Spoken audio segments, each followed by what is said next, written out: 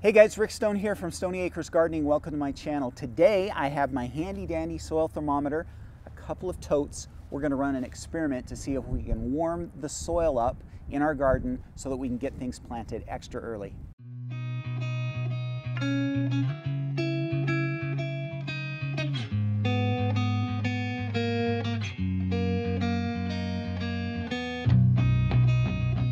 Before we get started, please make sure you subscribe to my YouTube channel. Click that notification bell so you get noticed every time I release new videos.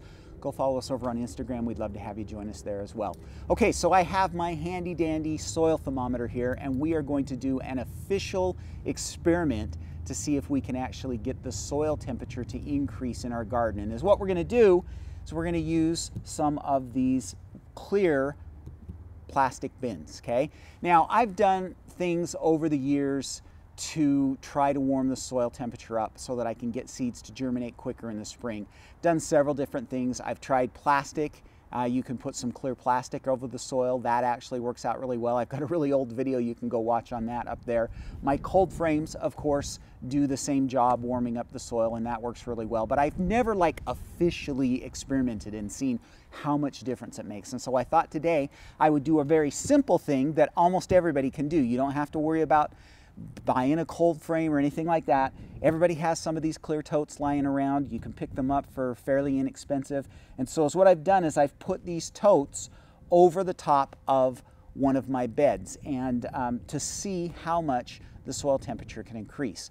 So I put these on a week ago. So it's a Saturday, the 18th of March. I put these down on the 11th of March, uh, a Saturday last week. So let's see what happens. So the first thing we're going to do is I'm going to take my soil thermometer and we're going to go right over here and we're going to test the soil just four feet away, same amount of sun, everything's the same. We're going to test and see what that temperature is. Okay guys, so here we go. This is the soil temperature reading outside, uh, just in the regular soil in my garden. We're right at about 50 degrees, maybe 48, 49, just a little before 50. So now let's see what it looks like under the protection. Okay, now let's take one of these totes off and see what the temperature is after one week uh, inside. One thing that I do want to note, we've had a fairly decent week. So uh, finally had a break in the weather. The, uh, the sun has come out. We've had temperatures decent, somewhere between 45 and 55 degrees most day. It's about 50 degrees right now today. So let's see what a week of those temperatures with these bins over the top has done for the soil temperature. Okay, and here is our temperature reading for the soil underneath the bins. So you can see that we are about 65 degrees. So we're a solid 15, 16 degrees warmer than we are in the soil that is literally only about four feet away um, but the, the cover is obviously warming that soil up. Okay, so this is something that I knew was going to happen. Um, I've done this enough that, that I knew we were going to actually have a change, but it's fun to actually see what the difference is. So we've got just about 15 degrees difference between the outdoor soil and the soil that's underneath these bins.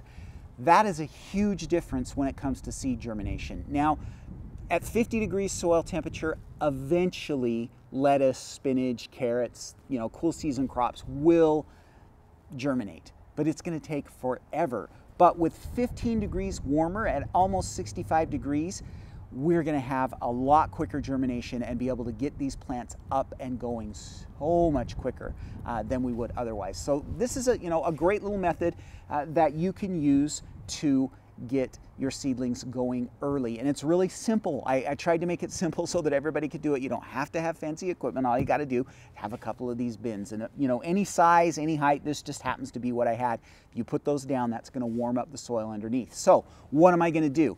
Today, I am going to go ahead and I'm going to plant lettuce under this one. I'm going to plant spinach under this one, and uh, we'll get those going extra early. So I'll maybe do a follow-up video, maybe a short or something like that so that you guys can see uh, what happened um, under these. So we're gonna get this going today so that we're off and running extra early. March 18th, we're planting here in our Zone 6B garden. So anyways, that's all I have for you really in this video. I just kind of wanted to show you this fun experiment and, and let you know that you do have the opportunity to get your soil warmed up quicker uh, in the spring so that you can get those seeds germinating a lot faster. So give it a try.